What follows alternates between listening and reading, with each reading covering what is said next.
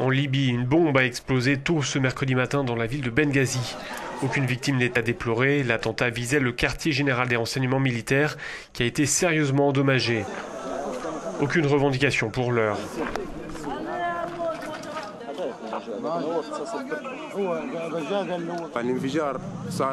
L'explosion a eu lieu juste après la prière du matin, explique cet homme.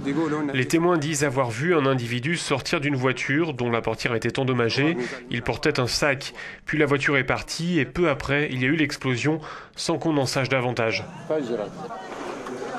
La sécurité a du mal à être rétablie depuis la fin de la guerre, avec des milices qui sévissent dans plusieurs régions.